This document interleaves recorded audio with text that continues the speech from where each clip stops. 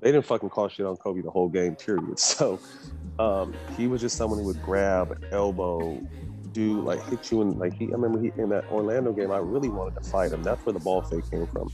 He elbowed me in the sternum, and I remember he went and tried to block one of Dwight's shots, and he was guarding me, and I got a dunk tip, and I came off the rim, and he hit me Yep. in my nuts, and then elbowed me underneath my chin. I'm like, yeah, what the fuck? Like this is gonna be a fight. So anyway, and I answered it. I'm like, hello, like MB, what's good? Um, chilling, what's up? Who's this? He's like, Kobe. And the first time I was like, shut the fuck up. Like, who's this? He's like, no, it's Kobe. I really like, you know, your tenacity and the way you play and this, this, and that. He's like, have you ever thought about being a Laker? I'm like, man, I've dreamed of being a Laker. Like the Lakers have been my favorite team. And he's just like, well, shit, anyone crazy enough to fuck with me, is crazy enough to play with me, I'm gonna get you here.